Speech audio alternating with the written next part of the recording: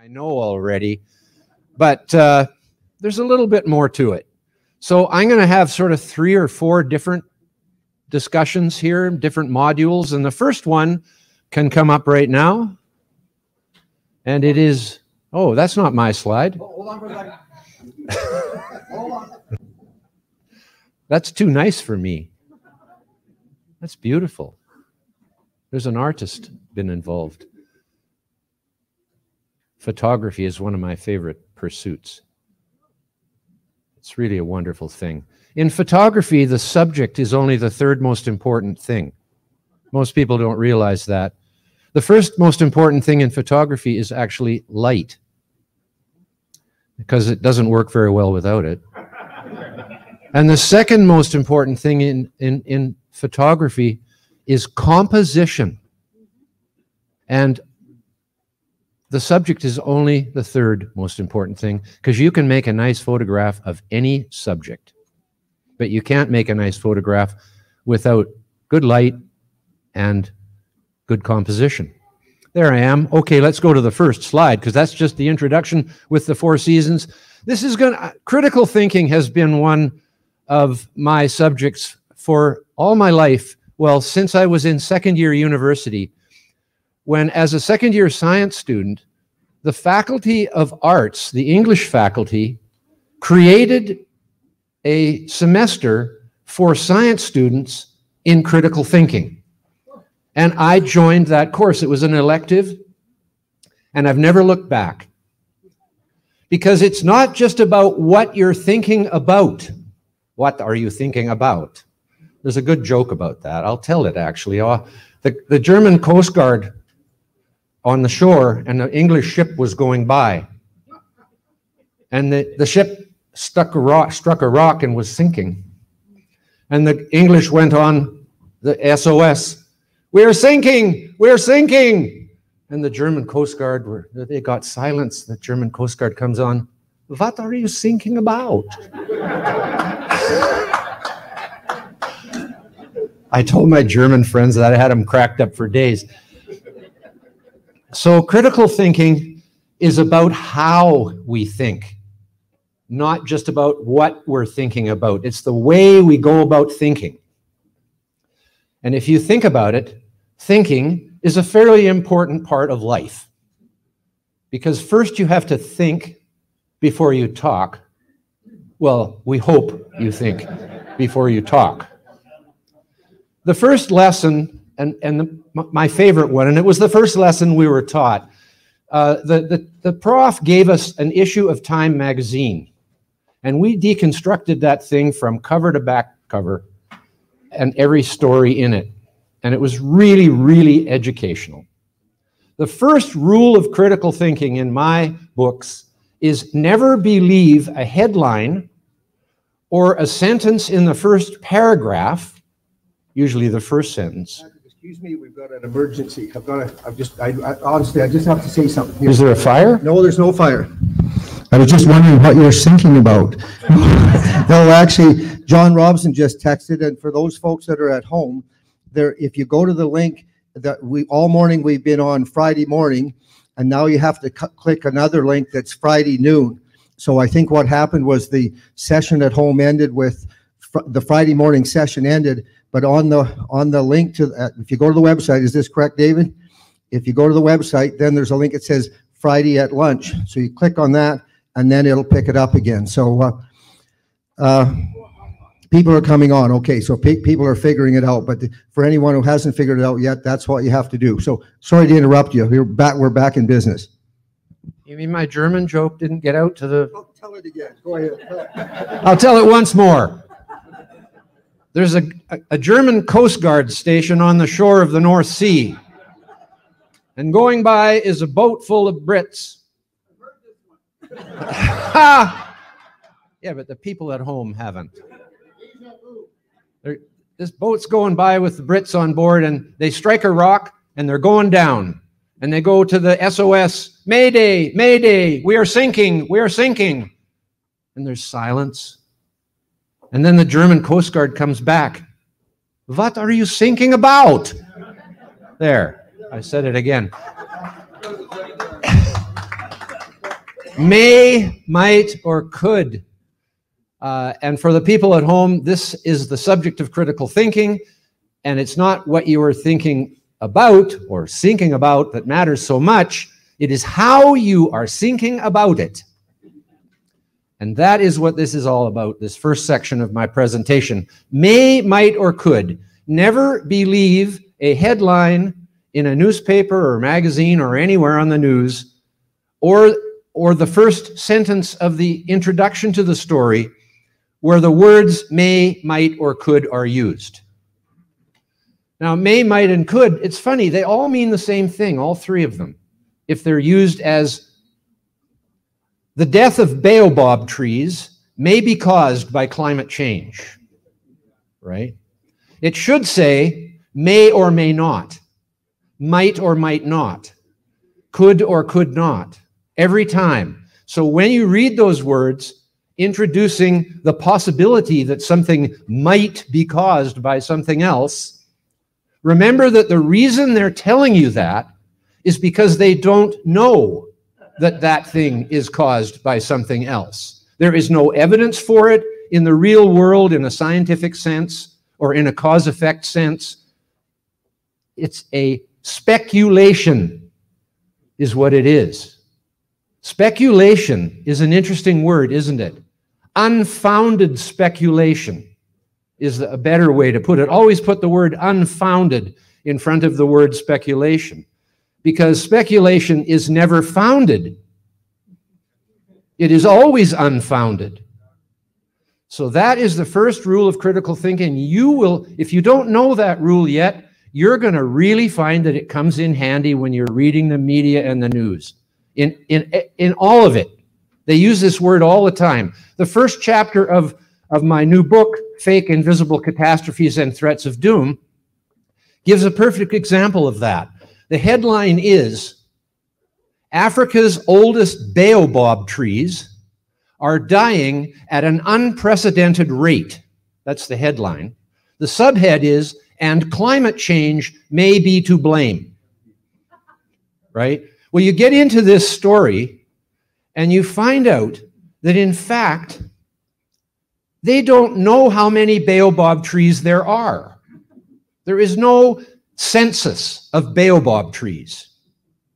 So they don't know what the population is. How then could they possibly know there was an unprecedented rate of dying going on? Actually, they don't know how many baobab trees died in any given year either. You find out from this story. The only fact that is given is from a Romanian chemist with a last name with more consonants in it than vowels, who is apparently the expert on dying baobab trees. And he claims that eight of the 13 oldest baobab trees have died in the last decade. Eight trees, less than one per year. There are thousands of baobab trees. We know that much. So it's just a completely fake story. And 150 major media outlets around the world picked it up and ran with it. Even a Fox affiliate went with it because it's such a cool story. But what if there was a headline saying the oldest Chinese people are dying at an unprecedented rate? Well, the population of China is growing, so obviously each year more old people die than did the last year. So that would be unprecedented, wouldn't it? That's the kind of thing I'm talking about here.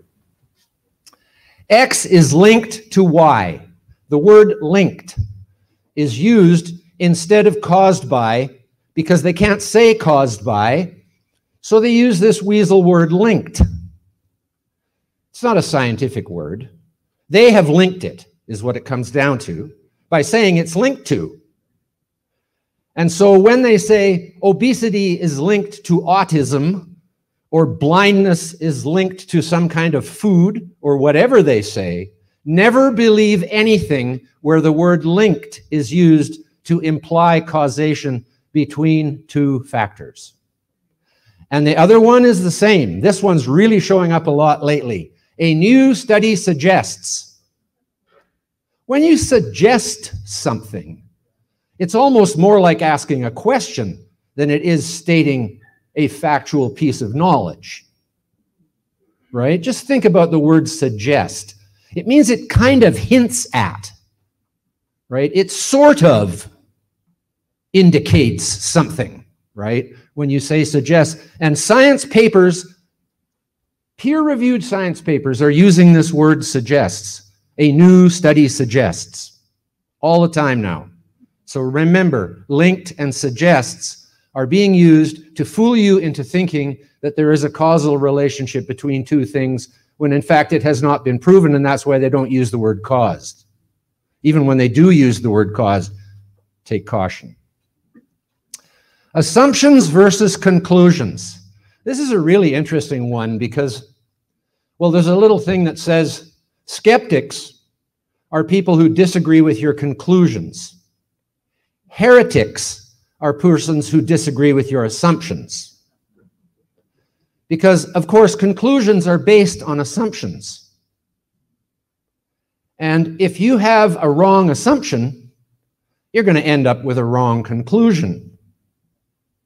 You can't get the right conclusion from an incorrect assumption. So always look behind conclusions to try to figure out what the assumptions are that led to that conclusion. For example, the conclusion that the world is heating up rapidly due to increased CO2 emissions from human use of fossil fuels. That's a conclusion that's being made. But what's the assumption it's based on? It's based on the assumption that carbon dioxide will always lead to a warmer climate. And that's what should be tested. And if you look back in the historical record, you can see that there is virtually no evidence of that in the long term record. That's why they want you to believe the Earth began in 1850, because that is where the correlation between CO2 increasing and temperature increasing started to happen. Prior to 1850, for the 150 years before that, go, goes back to 1700, which was the coldest period of the Little Ice Age. Temperature had been increasing all that 150 years, but CO2 hadn't moved a smidgen because we weren't putting enough fossil fuel CO2 into the atmosphere to do that until 1850. So if you look at the temperature graph from central England, you will see that since 1700, the temperature has just risen slowly, slowly at just exactly the same rate up to today and CO2 starting in 1850 has gone up in an exponential curve. So if they were in lockstep causal relationship, you would expect that temperature would have followed that exponential curve in CO2 emissions just at least a little bit. But it doesn't even follow it by a smidgen. So even since 1850, there isn't very much evidence of any causal relationship. But go back before 1850, there was a period between 150 million years ago and 50 million years ago when the temperature and CO2 of the Earth was so completely out of whack, exactly the opposite. When CO2 went up, temperature went down. When temperature went up, CO2 went down. And there is no way in creation to think that that could possibly have anything to do with CO2 causes temperature. That's a 150 million year period. I got the number. It's 100 million before and 50 million after when they crossed each other because they were going in opposite directions and then they crossed each other going in the other opposite directions. It's all done from marine sediment analysis of isotopes, which is uh, rather uh, other than bi, you know biological proxies are I don't I don't necessarily trust them because there's too many factors involved in what creates tree rings, for example. That's a biological proxy.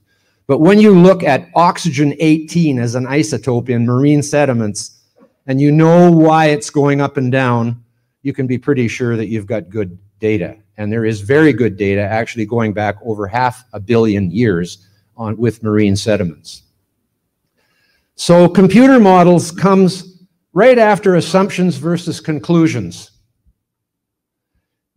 People are behaving and giving you the impression that a computer model can actually be like a crystal ball, can actually be like a fortune teller, right?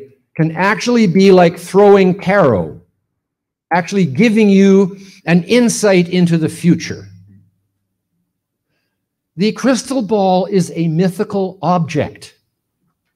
It is not a real thing that you can look into and see the future.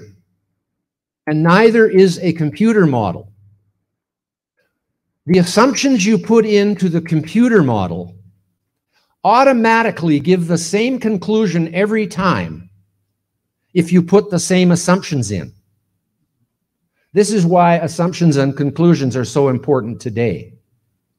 Because with COVID, as Roger pointed out, this British academic just shoving the numbers from Italy at the beginning into a computer model, came out with hundreds of millions of deaths or whatever it was. That's because the assumptions were wrong.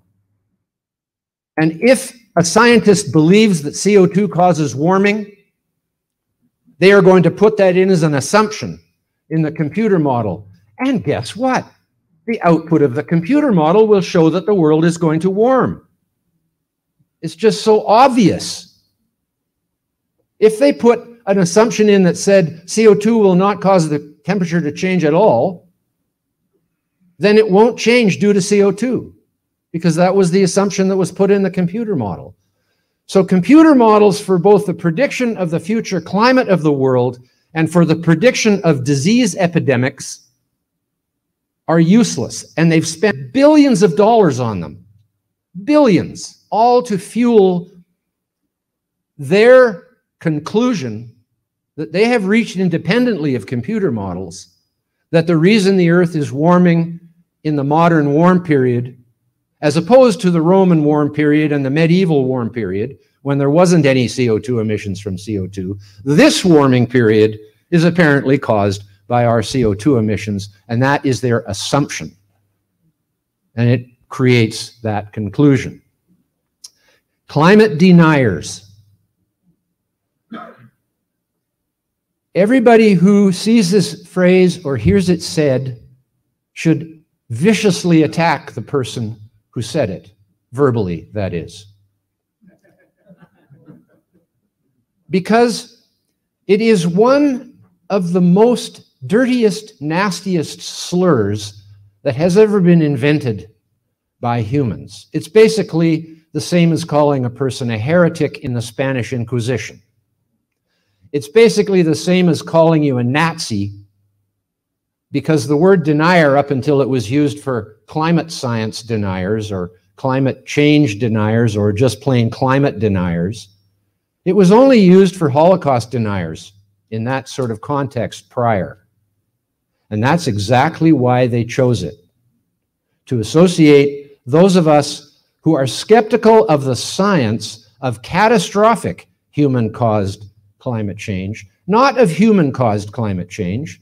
Our agriculture probably has a slight effect, at least regionally, on climate and even globally, because it has changed the whole terrestrial ecosystem in some continents a great deal.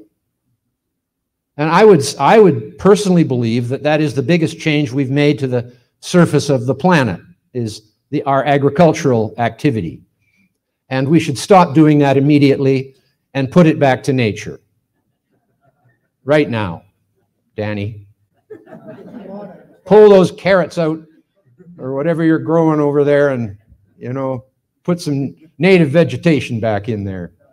So there you go. I mean, really, if you're worried about human caused climate change, uh, the best thing that's happened since the little ice age is it's got warmer. The best thing that's happened to the global climate. And one of my favorite lines, and I know it to be true, is that absolutely nothing in today's weather, which for some reason they told us not to use uh, as a, a symptom of climate change, because that wasn't climate change, that's just weather. That's what they told us just 10 years ago. And all of a sudden, all they ever talk about is weather because the climate hasn't changed. So th th there you go. They just keep moving the goalposts all the time. But absolutely nothing in today's weather is out of the ordinary in the slightest with the last 10,000 years of this Holocene interglacial period that we have been in since the dawn of human civilization coming out of that last glaciation when agriculture and, and, and, and tools, me- mechanical tools and iron and bronze and all those things came into being. That has all happened in the last 10,000 years to any extent. We were primitive, still kind of like an ape until not that long ago. The other really important fact about the climate subject, and then I'll move on to my next points, is that human beings, the species, Homo sapiens, our species, is a tropical species. Deep tropical species. That is where Homo sapiens evolved. It did not evolve anywhere else. It has not evolved much since it evolved there in evolutionary genetic terms.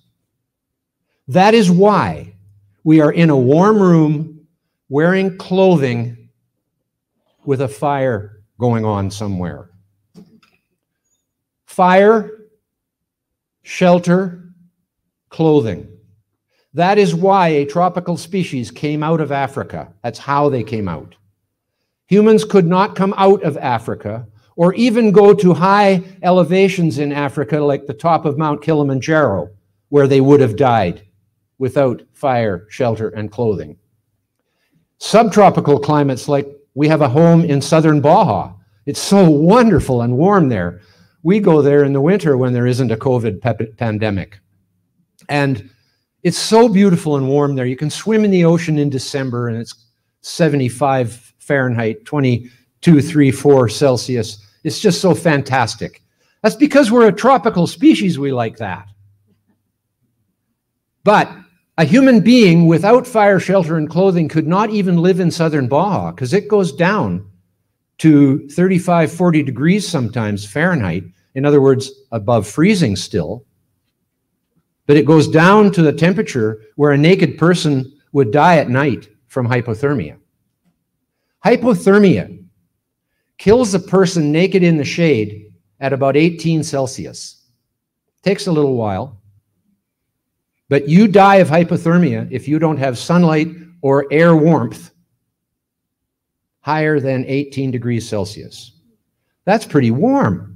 The average temperature of the Earth today is slightly less than 15 degrees Celsius. Of course, that includes the North and South Pole and everything. But that's the average temperature of the Earth. The average temperature of the Earth is cold enough to kill us naked in the shade. We are a tropical species. Okay, let's go on to some more interesting stuff here. Anybody know what this is? California Paradise, California. In Paradise, California, 86 people died alive, being burnt alive. And many others were badly burned too, but they lived. They built this suburb.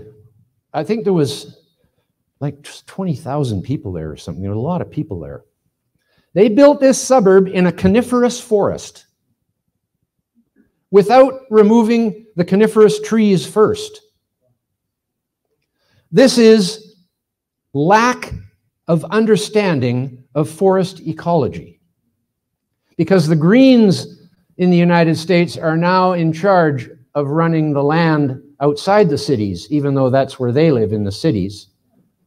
In Australia, it's the same. The urban greens have got control of forest land management and range management and management of the hinterlands away from the people who understand the science. And those people go back in Australia 60,000 years. The Aboriginal people learned in the eucalyptus forest, which is one of the few broad-leafed genuses of families of trees which have a lot of pitch in them. Most broadleaf trees like oaks and maples, they're, they're, they're pretty resistant to fire. And what they should have done here in this mostly pines, really pitchy in their needles and bark. So they just go like a candle. And if the wind blows, you can't run fast enough to get away from the crown fire. They left these trees here. What they should have done is cut down nearly all the coniferous trees, maybe left a few nice ones, made, wood, made lumber and paper out of them, and plant broadleaf trees in patches with large areas of open space like, say, Central Park. Should have looked like that right here. And then this would never have happened. About the same number of people, 86, died here as have in the entire history of the nuclear energy industry, which is like 60 years odd more. And that only place that happened was Chernobyl. Chernobyl was the only nuclear accident that caused the death of people from the actual nuclear accident. Two engineers died from the tsunami coming ashore at Fukushima. They were the only casualties of death at Fukushima. And nobody was in, given enough radiation from the accident at Fukushima to expect that they will ever have any problem in later life, even though they evacuated a whole bunch of intensive care wards into gymnasiums where many people died. But that's what they should have done there. And that is the result of, of, of just plain bad knowledge and of what should be done if you're going to build a suburb out in the middle of nowhere in California where most of the trees are of the pine family. So the Aboriginal people that came to Australia 60,000 years ago learned to use the fire stick. They would burn the previous years or the previous two or three years fuel load, grasses and branches and dead things on the ground. They would burn them in the spring when the ground was still moist and even the wood was a little moist and it was cooler and the wind was down. They'd pick the right time and they'd burn off all of this litter in the forest and in the grasslands. They opened up Australia, actually. Australia, when Europeans came to Australia, there was far less forest cover than there had been before the Aboriginal people came over the land during a glaciation when the sea level was so much lower. They came through what's now Ind Indonesia and down through the islands, what are now islands, which was actual land then. The same with the First Nations, American Indians who came to uh, North America 16,000 years ago over the Bering Land Bridge. They learned to do that same thing, and they did it for thousands of years, especially in the dry forests of the southwest of the U.S., that it works in all kinds of environments, and they probably could have hardened Fort McMurray a lot better to the fire that happened there if they had used these kinds of techniques. It's not rocket science. Most foresters understand it very well. And so we only having been here for 500 years, the various immigrants that have come from Asia and Europe and all over the world have not taken that lesson from the first peoples who came to both these continents, Australia and North America. You very seldom hear of huge wildfires in Europe. Spain has some in the wilderness areas because they have very dry forests too. And you can't stop wildfires altogether. But you can mitigate them and make them far less severe and far less frequent by managing the forest properly. But the chapter in my book is climate change causes forest fires, because that's what they're saying. They're saying that the fires in Australia and California are caused by climate change, like CO2, right? No, they are not. They're being caused by inappropriate management of the forests, especially where people live in the middle of them. Next one. So now I'm going to talk about one of the chapters in my book in a little bit more detail. You, some of you have probably seen my presentation, I don't know, but I just want to reiterate because a lot of conservatives are also worried about plastic. This has become a kind of universal concern because of the incredible bombardment in the media that plastic is bad, plastic is toxic, plastic's in the oceans. The Great Pacific Garbage Patch, look at the size of it. It's almost as big as the United States lower 48 states. Of course, this is just a Photoshop job. That's not a real photograph. But these are all over the internet showing this great Pacific garbage patch far enough offshore that nobody can actually see it with a pair of binoculars right? But there it is, destroying the ocean. Next, there's another one. This is an actual aerial photograph composite, because what they do is they take a picture every day all year, and then they put it together so that there's no clouds anywhere, because always there's clouds somewhere. But they can, but all, but but sometimes there's clouds, no clouds everywhere. If you see what I mean. So they do this, and there is this huge Pacific garbage patch right there. And that is also photoshopped. It's nearly as big as the half, and half, half as big as South America. So I, I challenge people on this in audiences of, of lay people uh, and, and general audiences. And quite often at the end, these angry people come up to me and say, how dare you say the Pacific garbage patch doesn't exist?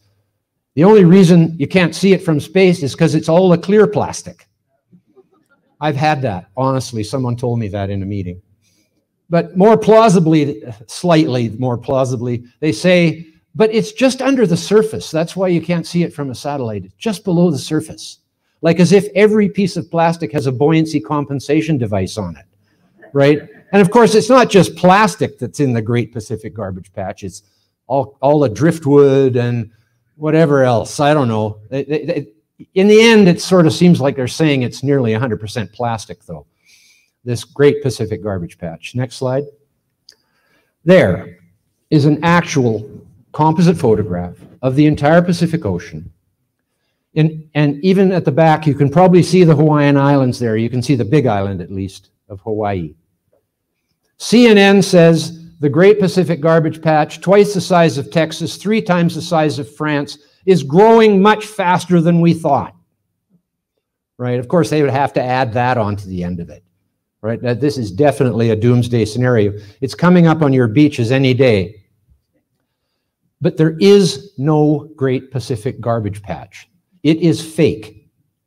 Because when you get down to it, they say, well, it's actually microplastics in the water column. And I'm going, oh, you mean it's invisible and it's not on the surface, but it's microplastics. How is that going to hurt anything, even if they're there? Well, the fish are eating it. And it'll it's like as if there's this huge blob of microplastics in their kidneys or something. You know, we do not take stuff into our bodies from our digestive system unless we can digest it. If you eat sand, it doesn't go into your bloodstream. Right? It goes right out the other end of you.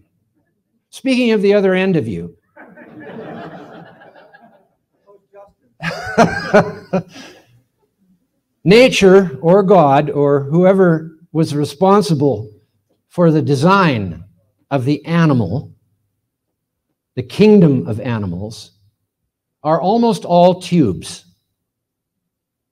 Sponges are one of the earliest animals, and they are they just have one hole in them. They take stuff in here and put it out here somehow. But very soon after the evolution of the animal kingdom, nature figured out that a tube was the best design. You take food in at one end of the tube and you put the waste out at the other end so they don't get mixed up and stuff like that. And in its great wisdom, nature made the out hole bigger than the in hole. In other words, if you look in the medical dictionaries online, all the best ones, you will not see any example of a bowel obstruction, which is a category of medical diagnosis, of course. No bowel obstruction has ever been caused by something someone swallowed, according to the medical dictionaries. It's all because of things, growths inside your colon or in your stomach or wherever, obstructing your waste passage. It's not from swallowing things. Because if you try to swallow something that's too big to go out of you at the other end, you will choke to death or spit it out, get it, you know, with the Heimlich maneuver. So there you go. That's uh, the Great Pacific Garbage Patch. Next. This is a boat that went to sea for 48 days, nonstop, picking up plastic garbage in the ocean. What does most of it consist of? Discarded fishing gear. This is where the focus should be. Very sharp focus on fishing boats throwing away damaged nets and ropes, but especially nets. Ropes, so what? They're not going to hurt anything. But nets are meant to catch things. It's not because it's plastic, it's because it's a net. They should be encouraged somehow through with money or I don't know what, Somehow they should be encouraged to bring their damaged nets back to the dock where they can be disposed of or used for waste to energy or recycled into single use medical devices or whatever. And uh, there, is, there is the catch. This boat sailed around from California to Hawaii for 48 days, and that's all it could find. Right? There is no Great Pacific Garbage Patch. Next. Now, this is tragic. A whale has swallowed all this plastic, and, and when it's come ashore, it's finally coughed it out. Right?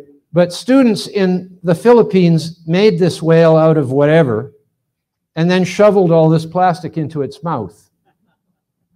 And then they say in the story that whales are digesting all this plastic into themselves and blocking their intestines and dying and, and coming on the beach. I didn't show you the beached whales, but there's in, in this same article is a, a photograph of two beached sperm whales, which were two of 13, in fact. Whales have been beaching themselves since whales began. They've been beaching themselves for 50 million years. Nobody knows why. And I think that's really good that we don't know why they are beaching themselves. What if a whale was swimming under a big bridge and some human being leapt off the bridge to their death? Would the whale know why that person jumped off the bridge? No, and would never figure it out in a million years.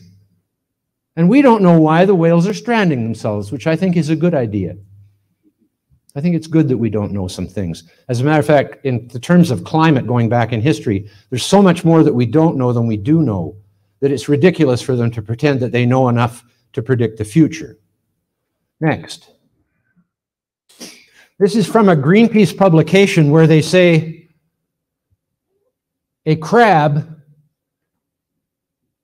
uh, in a plastic cup. Quote, a crab was, dis- was trapped inside a discarded milk tea cup in the Verde Islands. No, it's using the cup as habitat. It is using it for shelter. It is not trapped. That's why when I, I was on the Greenpeace voyages, my fellow Greenpeacers who weren't educated in ecology quite so much were just aghast at the fact that I would throw glass bottles overboard and glass things, various things that would sink to the bottom, because someone would make a home in there. So let's think about plastic for a minute. You have to make the difference between pollution and litter. Pollution is poisonous. Litter is unsightly. We don't like the looks of it. When we see a beach covered in driftwood and there's scattered in amongst the driftwood a bunch of plastic, colorful plastic things, we dislike the plastic. That is an aesthetic issue. It has nothing to do with the plastic being bad for the beach or for the ocean it was floating in before it came onto the beach. As a matter of fact, a piece of plastic in the ocean is no different than a piece of driftwood in the ocean. Except plastic comes in shapes that can be used as habitat better than pieces, not too many pieces of wood are in the shape of a cup or something you can go in and get shelter from. So plastic actually has a more diverse use, uses for hundreds of species of marine life. Next slide. There's an example. I took this picture on beach up at Winter Harbor on Vancouver Island. This is the most common species to take advantage of floating wood and plastic in the sea, the pelagic barnacle. And these, when, when this was in the sea, there would be all kinds of little fish around it. It would be, it, it creates its, a whole ecosystem. When I salvaged a huge Japanese glass ball in 6,000 feet of water by jumping off our Greenpeace boat and swimming out to get it, it's really fun to, to swim in 6,000 feet of water because it, it doesn't matter if it's 12 feet or six feet, right? If you can't stand on the bottom and keep your head out of the water, doesn't matter how deep it is. And that's such a cool feeling to know there's 6,000 feet of water underneath you. But there was this big Japanese glass ball, but it still had the net on it with, with stuff hanging down because it had ripped away from its mother net, obviously. And that was an ecosystem you would not believe. The amount of fish that were around that and the barnacles growing on it and the, the, the, algae growing on it. And, and it, was, it was just an amazing sight. And I had to cut that net off and let it sink to get the glass ball, which I prayed for all the species that I had eyes there. Some of them will find new things to around because there's lots of stuff floating around in the ocean. But uh, did I, was that an ecological crime? I'm Not quite sure, but uh, I, I, did it anyways because I wanted the glass ball really badly. And it's still in my home. That was many years ago. So you can see that a little plastic float, which is completely harmless. You see, plastic is not toxic. If it was, we wouldn't wrap our meat in it. If it was, we wouldn't package nearly all our food in it for sale in stores. The reason they use plastic is because it's non toxic, because it is completely and 100% inert and has nothing on it or in it that could possibly harm any living thing. It goes beyond that, though. Next slide. This is an albatross chick. Hopefully, it died naturally. But Sir David Attenborough, on his uh, series Planet of the Earth or whatever, uh, shows things like this. And it's all over the internet. This is supposedly showing the amount of plastic that the mother and father albatross fed to their chick, mistaking it for food. The Smithsonian says it, Greenpeace says it, Sir David Attenborough on the BBC says it. Feeding plastic to their chick, mistaking it for food. Do you really think albatross are that stupid? No, they are not. But Sir David Attenborough goes one step further into his lying tirade. He holds up a plastic bag, a thin plastic bag, not even as thick as a baggie, you know, like the really thin plastic bag, and says this was from a chick's stomach, fed by the mother. No photograph or film is shown of a mother albatross feeding plastic bags to its chick. No photograph of a chick cut open with a plastic bag in it is shown. Just Sir David holding a plastic bag near an albatross nest. Next picture. These are staged, by the way. Here's another one. This is from the Smithsonian, where they have a whole slew of them. The Smithsonian Institute is perpetrating this myth that albatross are feeding plastic to their chicks, mistaking it for food. Do you know why they are feeding plastic to their chicks? Birds have no teeth.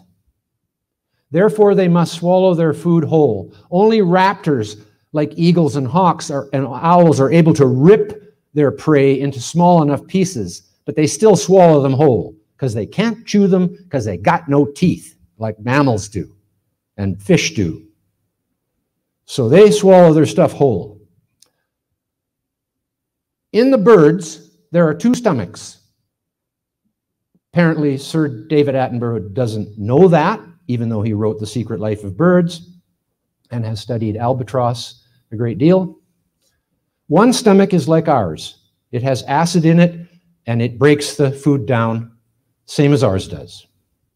The other stomach is called the gizzard. I think some people call it the crop. I think those are synonymous, but they're not? Okay, then it's the gizzard. What's the crop? Oh, okay. It's leading to the gizzard. Then.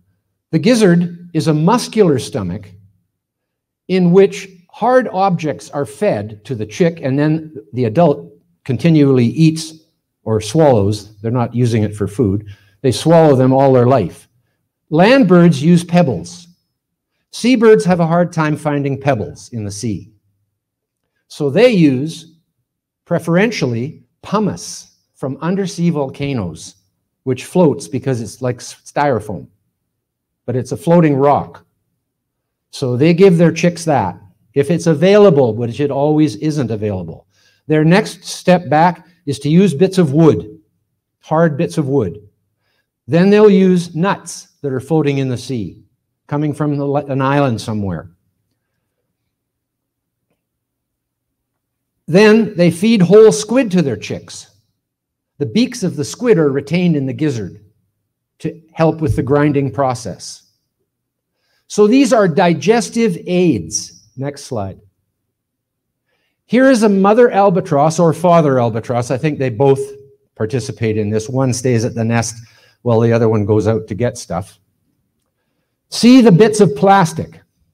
It's hard bits of plastic. It's not plastic bags. It's little pieces of hard plastic. For the last 60 years since plastic started floating in the sea, people who study these birds have noticed that they're using plastic in their gizzard. 30 years of research was done on this because they were concerned that plastic would be detrimental to the birds. There is zero evidence that the plastic is detrimental to the birds. But today, Sir David Attenborough, Greenpeace, and the Smithsonian, among three of hundreds of sources, will tell you they're feeding this plastic to their chicks, mistaking it for food, and that it's killing their chicks. No, they're doing it for a dang good reason. And from what I've told you, you can see that plastic in the sea is virtually 100% beneficial. Now, that's different than people throwing it in a river in Indonesia along with all the waste food because the market stalls are usually along a river. And because they don't eat pigs in Muslim countries, they have a lot more rotten food being thrown into rivers instead of being fed to pigs, which is what people who have pigs use it for. So it's an, a double whammy kind of thing. Plus the non unawareness of what they're doing, where down at the mouth of the river there's this massive pile of crap, including all the plastic they've thrown in the river. That obviously that should be corrected and is being corrected as we speak in these countries. But that's where most of the plastic in the sea that is not discarded fishing gear has been coming from for the last while. But on the other hand, if there was a sea with no wood and no plastic, the Laysan albatross would not have grown exponentially in its population to where now it's leveling off a bit. It hasn't leveled off yet. But feather hunting, the feather hunting industry destroyed almost all the seabird islands of their populations of birds in the, in the 19th and into the 20th century. It wasn't until in the early 1900s that it was finally ended mostly for ladies' hats. And that, that decimated the population of seabirds that nest on islands. And they have come back miraculously. In their literature, Greenpeace says that, that albatross are threatened with extinction from plastic pollution. Threatened with extinction when their population has grown exponentially to where there's hundreds of thousands and millions of them now. And there's many species of seabirds because we never see them. They don't come in sight of big pieces of land. They stay out in the ocean or on little islands all their lives. On the, on the far eastern islands of Hawaii, there's tons of, of them, but nobody goes there because they're usually wildlife sanctuaries, but they let Sir David Attenborough in to tell his lies. So next. Okay, now the politics of my presentation. I don't know how many of you have made a study of this, but there are 100, I'm, I'm not saying you should join the United Nations, by the way, I'm just using it as an example, but maybe you should, so you could have some influence there. There are 193 member states of the United Nations. Alberta has a population of 4.3 million. 69 member states of the UN have a smaller population than Alberta. 69. Therefore, 36% of UN member states have fewer citizens than Alberta. If Saskatchewan and Manitoba joined Alberta, the new country would be larger than 46% of UN member states in population. In other words, nearly right in the middle. Okay? Next. Alberta's GDP, 335 billion with population of 4.3 million. Cuba's GDP is less than a third of that with more than twice as many people, nearly three times as many people. Ethiopia's GDP is 272 billion with 112 million people. And Bangladesh's GDP is 302 billion with 161 million people. which is how many times the size of Canada? Uh, six times the population of Canada. Just to put into perspective the idea that it would be silly for such a small place as Alberta to become a country.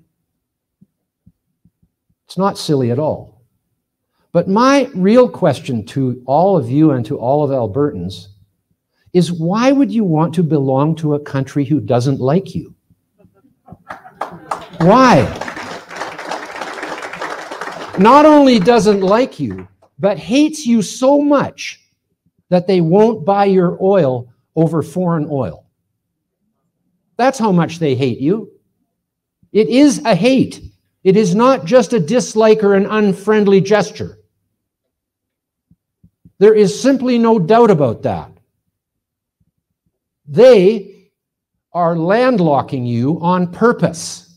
And they're conspiring with the United States and its agents in the Rockefeller Brothers Foundation, $750 million to front groups composed of First Nations and community groups in Canada to make it look like they're legitimate. That's what they're doing to you. I, I won't say get a backbone. Free the West. Won't say it. I did already once. That was enough. And I don't mean it of you, crowd, of course. But to Alberta, I say it get a backbone. Realize the situation you're in is not going to change anytime soon. Canada is being picked on not just by the United States, but by the whole oil community because we have privately owned oil like the United States does. Almost all the other oil is owned by states. Those states see Canada as a real easy picking to get rid of, or at least to minimize. Canada could be far wealthier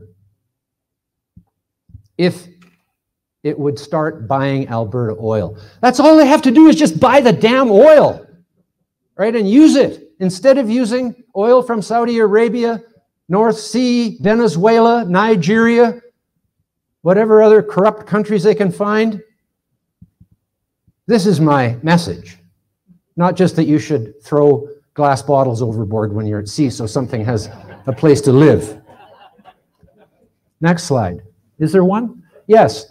These are beginning with Panama, Kuwait, Croatia, Georgia, Eritrea, Uruguay, Bosnia Herzegovina. These are all countries that have lower populations than Alberta, not counting Saskatchewan and Manitoba. Next slide. A continuation of that list down to Liechtenstein with 400, is it 40,000 people? I don't know. No, 0.4 million. What's that? 400,000. Thank you. I'm, I'm pretty good at arithmetic, but that one stumped me. Um, and, and there you go. Next slide. There's the bottom, the Tuvalu.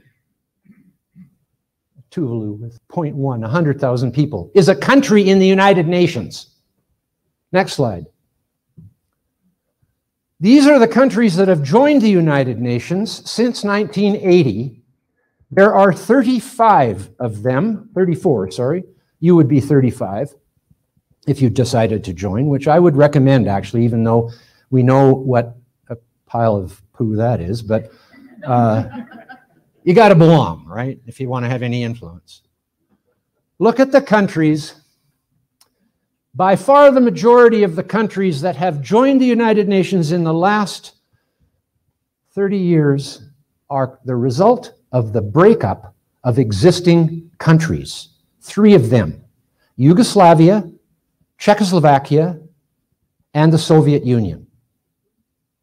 Almost all of the countries that have become countries, not never mind whether they joined the UN, but all the countries that have become countries in the last 35 years have become countries by breaking up with the countries that were in or agreeing with each other, like Czech Republic and Slovakia did a mutual agreement to separate from each other because they had different priorities.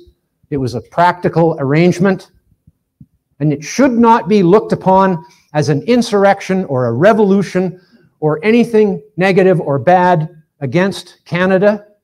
It's for Alberta that you need to do this if you do it. For Alberta. It's, it's a clear cut case of self preservation. And that's all there is to it. And I don't think there's any. Oh, yes, this is your options. I think I've shown this before. Your options are one, save Canada, quit Paris, build pipelines. So Canada has to agree to that if you are to stay in Canada. The second option, save Alberta, quit Canada, build pipelines. There you go. We have time for one question and then we'll, we, we actually have more question time as the weekend goes on, but we have time for one question right now. For those that are watching at home that just uh, figured it out, when you go to the website, there's a morning session, a noon session, and an afternoon session. And some people, when the morning session uh, ended, did, whoops, maybe I should have the microphone. Oh, okay, thank you. The, uh, for those who uh, are watching at home, uh, there's a morning session, noon session, afternoon session. We're just about done the, uh, the, the noon session. And if you're just clicking on now, I'm sorry you missed it. And we'll be putting uh, Patrick's speech on the website as quickly as we can. But in any event, we'll soon be starting the noon session or the afternoon session. And again, you have to go to the website and click on that to start on the next section. So one question. Does somebody have a question? Yes, Doug, go ahead. Okay. Okay. I, I just want to say one thing before I get the question. Please buy my book, Fake Invisible Catastrophes and Threats of Doom. It's getting all five star except for the cranks on Amazon.ca. It's number one environment book on Amazon.com, which blows my mind. It's number two environment book after only four or five weeks out. It explains all these issues, not just climate, it's all these issues that are part of the fake, invisible, remote, and futuristic predictions, none of which can be observed by the average person in their daily life so they can say whatever they want. The reason none of the scare stories are about things that you can see is because they would be easily nullified because you could see that they were BS. But you can't see that invisible and remote and future things are wrong because you can't see it. So please, and when you've read this book, you will know you should give it to your high school children and children who are older than that, if you have some, because they should read it too. And you, I know you will recommend it to your friends and neighbors if you read it. Please read it. Thank you. Thank you. Go ahead, Doug. Yeah, when I debate people on the topic of uh, global warming and carbon dioxide as a driver, I'm almost invariably beset with the with the position that the science is overwhelmingly in favor of the carbon dioxide side of the argument. Now, I, I don't think that's correct. I think that uh, all these catastrophic predictions are based on modeling. And my contention is that modeling is not science. Would you agree with that? Am I live? Yeah, there I am. Of course, I agree with that, Doug. Um, the, the, the, the, if, if someone comes on with their first point being there's an overwhelming consensus among scientists, just change the subject. Because if, if that's what they're basing their thinking on, consensus is not a scientific word. It's a political and social word. It's about what democracy is about. It's about when a majority of people agree, or even a vast majority of people agree. You call that a consensus amongst the population. Consensus is reserved for political decisions and policy decisions at the social level as well as the purely political level. So it's a socio political word. In science, consensus means nothing. It isn't the correct beginning of an argument to use consensus. I'll give you four examples Galileo, astronomy, Mendel, genetics, Darwin, evolution, Einstein, physics, were all individuals. They were not a consensus. As a matter of fact, the prevailing consensus in all four cases was against them. Some of them died before their position was recognized universally. Einstein said, as a patent clerk, when he published his theory of relativity, and was faced by a journalist who said, What do you think of this, Dr. Einstein? 100 scientists have written a book against you titled 100 Scientists Against Einstein. What do you think of this? He thought for a minute and he said, But it would only take one scientist to dispute him if he was correct, if the other scientist was correct, if he was incorrect. It would only take one. That's how science works. That's why people get Nobel Prizes in science. They don't give it to committees. Sometimes they give it to two people because they just happen to discover the same thing at the same time independently. That has happened. It's very seldom three. I don't think I know of an example of when three people discovered something independently at the same time. So, the IPCC is a political organ of the United Nations. It hires scientists under contract to work for it, and the IPCC's remit is to study the human effect on the environment. That is its only remit. Therefore, it is fundamentally conflicted from the beginning. Because if it said that humans were not the main cause of global warming or climate change, then it would have no reason to exist. So it has to side with apocalypse and catastrophe in order for it to be considered a useful appendage of the United Nations. If you will notice, the, the IPCC is a partnership of two UN organizations the entirely political United States United Nations Environment Program and the much more scientific Meteorolo World Meteorological Organization.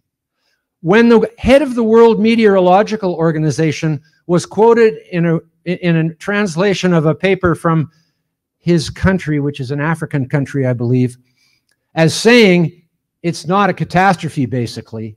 He was forced to stand in front of the United Nations flag a week or two later and recant and take back what he said. Otherwise, he wouldn't have been the head of the World Meteorological Organization anymore.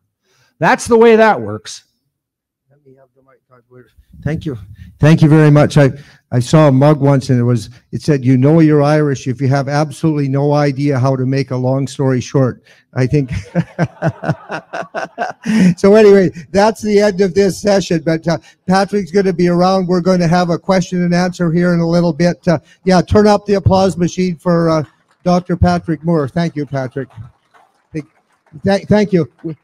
We'll have a 15 minute break and then we'll get back to work. And uh, John keeps texting me, say we're supposed to be framing a question. Sorry, go ahead. You want? Right. The viewers at home need to click on the afternoon session now. And uh, John has wanted to craft a question, but I think uh, I think the question that Patrick is actually posing for the referendum is is uh, to our government basically get Canada out of the Paris Agreement or get Alberta out of Canada. So we'll work on that question. We'll have it ready on Slido in a little bit. We're going to start some Slido questions in a bit, are we? Or how are we making out with Slido? Maybe we'll get to that later, will we? Well, you know, let's, why don't we put up, why don't you open up Slido, put the Slido there so anybody that's home can uh, click on Slido. And if they want to ask some questions, we can start looking at them. So folks, we're going to have a real quick coffee break. We'd like to get back to work at 10 o'clock, so, or uh, 10 o'clock, 2 o'clock. Thank you very much.